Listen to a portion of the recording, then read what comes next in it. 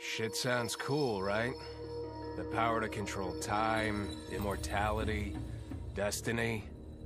Well, let me tell you, this job sucks. There's no pay, no weekends, and your shift lasts forever. The only smart play is to turn back time and give it back to Kronika. Bet your ass she's grateful, too. I didn't ask her for much. Just a chance to take out anyone who's ever tried to burn me. Black Dragon was always more of a gig than a brotherhood anyway. Now I get to live large, enjoying the simple life of a well-to-do family man. And if Shao Kahn or Shinnok ever come knocking, my family and I'll take them down. Just like I took down Shinnok's mom.